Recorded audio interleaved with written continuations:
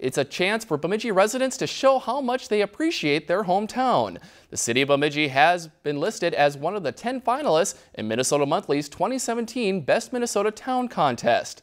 Bemidji was one of 30 applicants in the contest. Minnesota Monthly will award the town with the most votes, a multi-page page editorial feature, receive a media campaign valued at more than $50,000, and have a party thrown in honor of, its, of the town.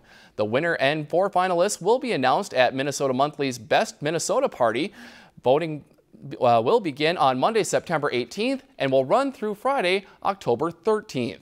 Visit Bemidji is asking residents and community organizations to show their support. For online voting, you can check out visitbemidji.com. If you've enjoyed this segment of Lakeland News, please consider making a tax-deductible contribution to Lakeland Public Television.